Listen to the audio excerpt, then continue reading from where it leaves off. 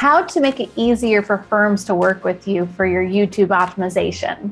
Hi, Taylor here at Financial Potion, where video is your financial potion. And to never miss out on a video, please make sure you subscribe to our channel and then click on that bell so you're notified every Friday at 5 p.m. Arizona time that a new video has been posted. For one to one training or just to support our content, please click above and connect with us on our Patreon page. If you're working with a company like Financial Potion to search engine optimize your videos, you can do a few steps in order to make it much easier.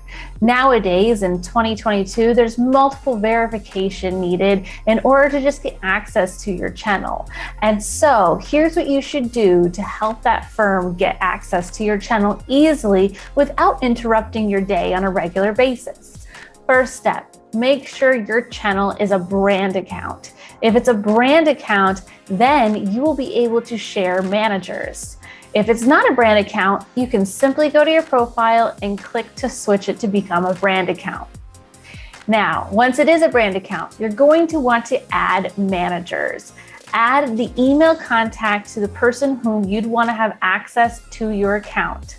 Then, once they have access, they won't need additional verification. They'll simply be able to log into your account without you having to verify every time. If you choose not to make your channel a brand account and not to add managers, every time a new browser or IP address wants to access your channel, you're going to have to do a two step verification with them. And that can become a waste of time, trust me. And so, if you're going to be working with a company in order to search engine optimize your videos on YouTube, make it easier for both you and them by making sure your channel is a brand account and that you're giving them manager access. If you have any questions on this topic, please leave them in the comments below. And if you need assistance with search engine optimizing your videos, please reach out to us.